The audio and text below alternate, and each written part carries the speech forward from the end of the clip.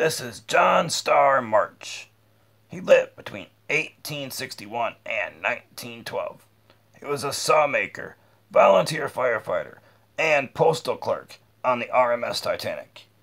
He died in the sinking.